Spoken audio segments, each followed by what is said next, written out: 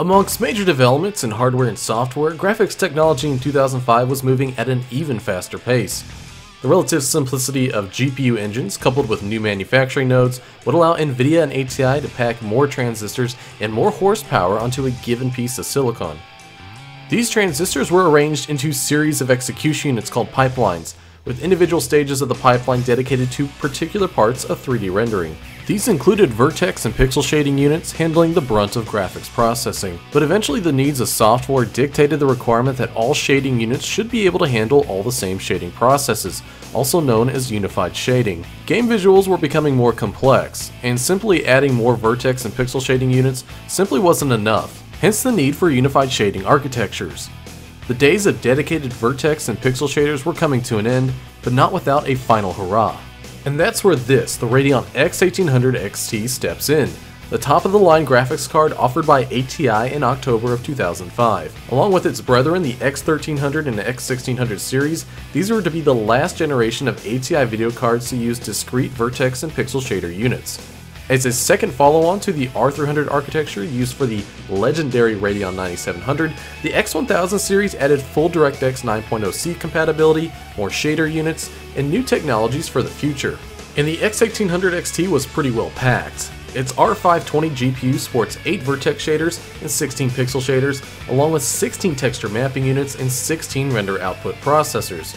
Vertex shaders on the X1000 series are basically a 4 wide vector processing unit paired with a 32-bit scalar unit. The pixel shaders consist of two stages, each stage with a 3 wide vector unit paired with a scalar unit as well. The first stage only possesses add and input modification functions, where the second stage features add functionality along with advanced multiply long and multiply add capability. Within each pixel shader was also a branch prediction unit, a feature required for DirectX 9.0C compatibility, and a key part in boosting performance and efficiency when drivers were designed correctly. Combined, there is 170 GFLOPS of total theoretical computing power on the X1800 XT when running at 625 MHz. 50 from the vertex shaders, 120 from the pixel shaders, though either would be hard pressed to actually come close to those theoretical shader rates. In response, key new features were an internal ring data bus and the ultra-threaded dispatch engine. The intent of both was to maintain high GPU utilization for more efficient performance across the 288mm squared die. In fact, the ultra-threaded dispatch engine could handle up to 512 threads at once. While these are not really threads in a CPU sense, the idea of increased utilization is the same, and ultra-threaded dispatch engines became key components to GPU designs moving forward. In total, the R520 GPU comprises of 321 million transistors using a then new 90 nanometer manufacturing process and consequently meant 600 plus megahertz clock speeds were feasible with the right cooling. Onboard video memory comprised of either 256 or 512 megabytes of GDDR3 memory clocked at 750 MHz using a 256-bit memory bus, resulting in 48 gigabytes of bandwidth. This one here is 512. Overkill for 2005, but useful for later games as time went on and textures got more detailed. All these features on paper put the X1800 XT well ahead of its brethren, and had a high introductory price tag to match of $550 MSRP. The X1600 XT was much cheaper at 249 and with it much weaker performance. It was designed with a certain design philosophy in mind, one that emphasized shader performance not too far off from the X1800 but much weaker texturing and ROP capability. The idea was that shader complexity in games was going to ramp up beyond the needs of texture and ROP units, and it really was the unified shader GPUs that would take this to heart. While the X1800 XT was not configured in the same manner, the later X1900 XT was. But if you wanted the best in PC graphics technology from ATI in 2005, the X1800 XT was the go-to product, and it really shined if you could afford it and the associated hardware needed to make the most of its performance. This was late 2005 after all, and games like Call of Duty 2 and Fear were among the first games to feature multi-core support. And games in the next year would really start to clamor for more than one core if one was to expect reasonable performance. It's only appropriate that I pair this X1800 XT with an Athlon 64X2, albeit a later one from 2006, but an Athlon 64X2 nonetheless, this being a socket AM2 5200 Plus running at 2.7 GHz. With 4 gigs of DDR2 800, it's a pretty good base machine for a Windows XP retro computer if you want to run early to mid 2000s games. Plus it only cost me 10 bucks when I got it at a garage sale earlier this year. What a deal. And I have this 19 inch 1440 by 900 HP monitor that I also got at a garage sale the year previous. Playing games on Windows XP with a 16 by 10 monitor was part of my early PC gaming experience back in the day, and it makes me awash with warm and fuzzy memories. For me personally, this is PC gaming at its most comfiest and most nostalgic. As per usual, ATI commissioned some pretty fantastic tech demos to show off the power of their new Radeon GPUs. The Assassin starring ATI mascot Ruby still impresses to this day with its massive polygon counts and insanely smooth, almost CGI-like illumination techniques. The backgrounds are much less intensive as to spare graphical budget to the foreground characters, but as a whole it's almost dumbfounding to watch 13 year old GPUs produce such astounding visuals. It's not really indicative as to how games would really look, but it was a nice target for developers. The other demo, the Toy Shop, is more practical in simulating how games are going to look post 2005, and in many ways is just as impressive as The Assassin. A plethora of shaders were used to simulate water, rain, and atmospheric conditions to amazing effect. And just as fun is the use of parallax occlusion mapping, which would appear in games Fear and Elder Scrolls Oblivion amongst others in the near future. Speaking of games, well, the X1800 XT was a pretty capable card in late 2005, only matched by Nvidia's GeForce 7800 GTX, which had a few more pixel shader pipelines, but the two would trade blows in the era's popular games, depending on resolution, anti-aliasing, yada yada yada, but here we're just focusing on the X1800 XT. If you wanted to play games from 2004 and 2005, the X1800 XT was a fantastic piece of kit. Classics of the time had no problem playing all dialed up and rezzed out. 2004's Far Cry is every bit the bloody violent vacation it should be, and boy is it still pretty to look at. The same year's Half-Life 2 runs fantastically, though this is the most current version running on Windows 7 thanks to Steam dropping XP support. Then in 2005 there's my favorite multiplayer shooter ever, Battlefield 2. And it's handled like a boss, maxed out at 1440 by 900 with 2 times anti-aliasing.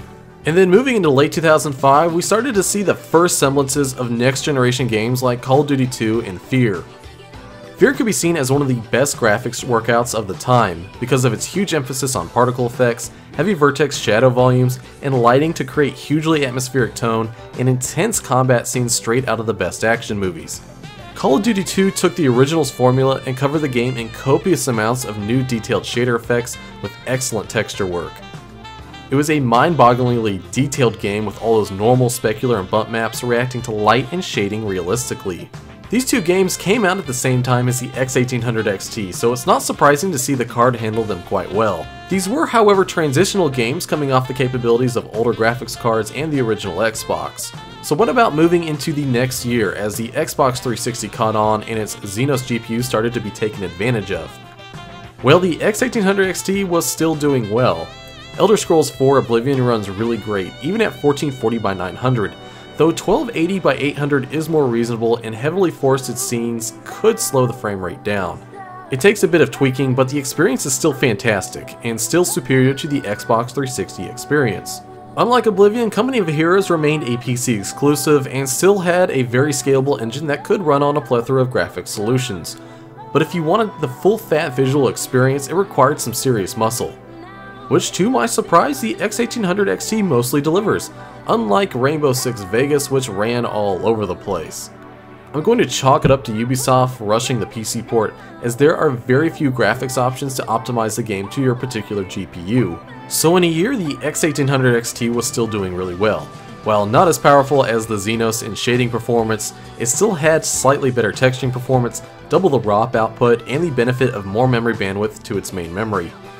Xenos had half the memory bandwidth to its main memory and was reliant on its EDRAM daughter die, which to be fair did offer essentially free Z buffering and 2x MSAA at the 720p resolutions most 360 games targeted, but developers had to use it correctly.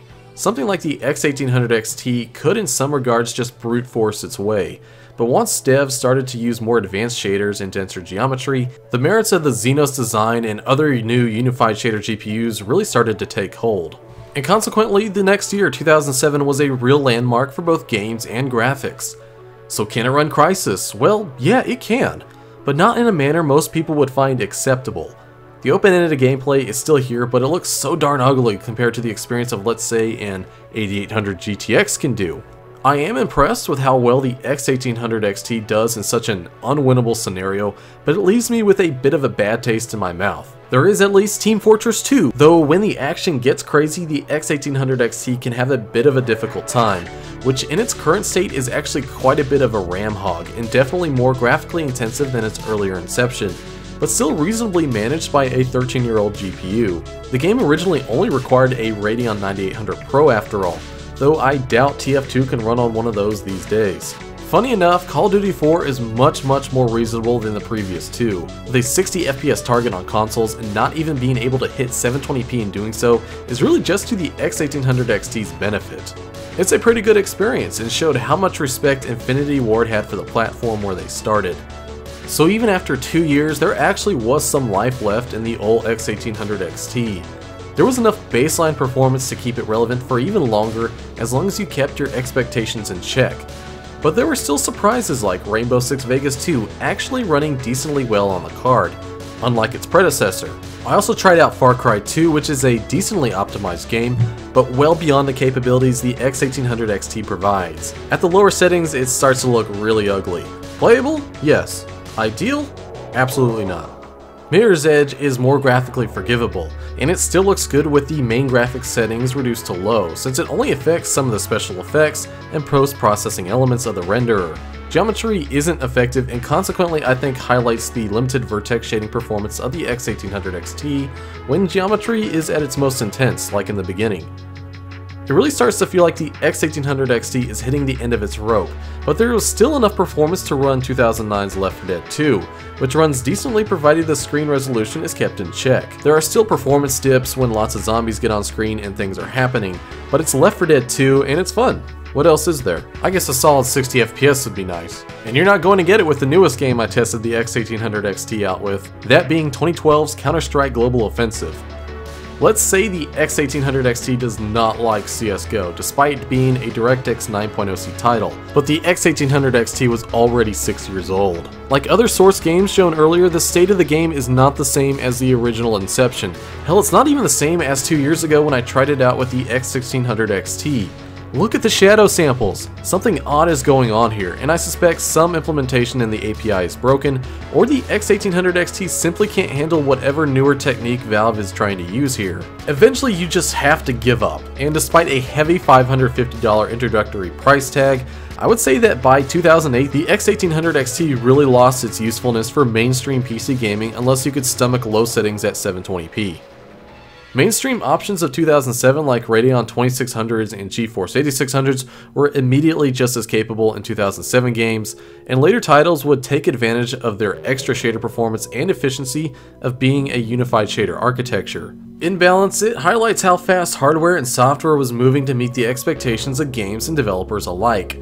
In early 2006, ATI unleashed the X1900 XT with three times the pixel shaders as the X1800 XT, emphasizing what they were already trialing with the X1600 series, a focus on more shader performance versus the number of available texture mapping units and ROPs. But what was the point when unified shader graphics for PCs was to arrive by the end of the year?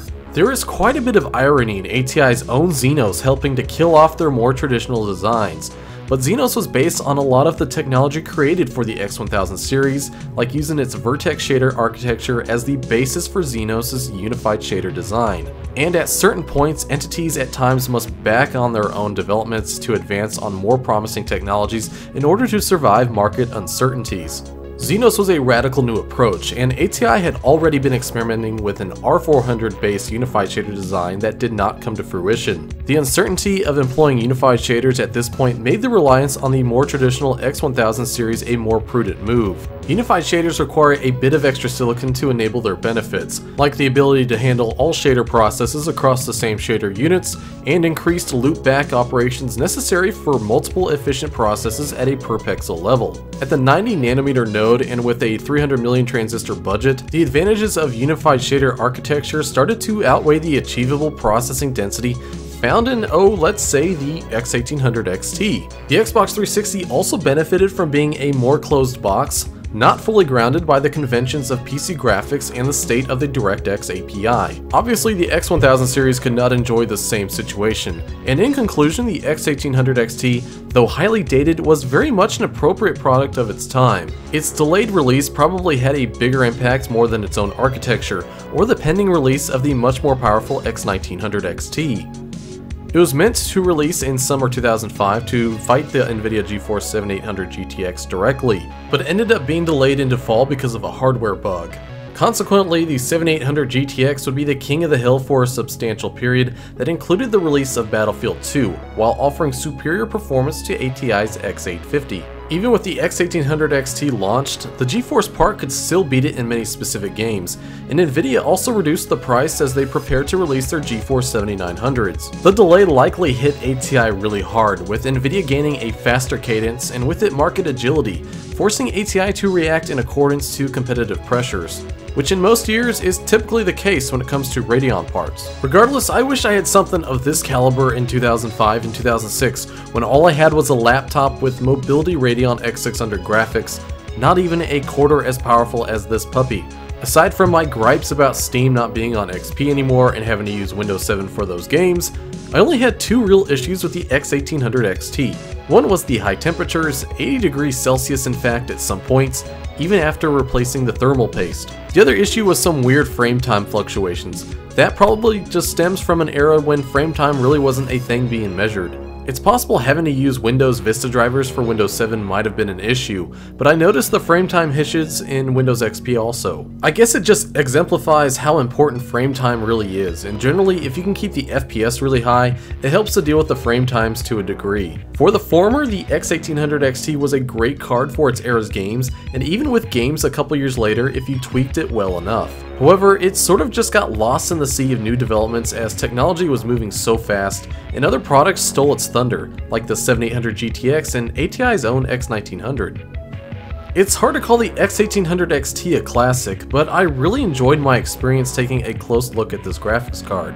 A lot of time and research goes into setting up the hardware games and making hardware chronicles, but in the end I come out with a much better perspective.